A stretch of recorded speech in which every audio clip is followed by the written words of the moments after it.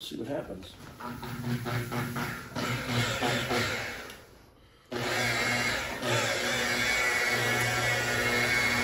kind of back and forth, even motion.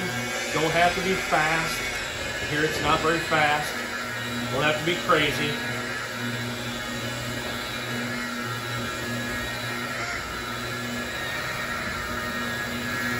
Shine it up.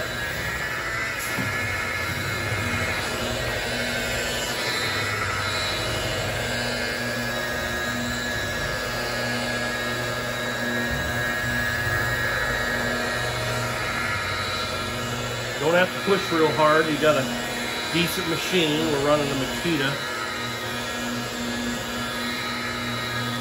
Let everything work, let the compound work.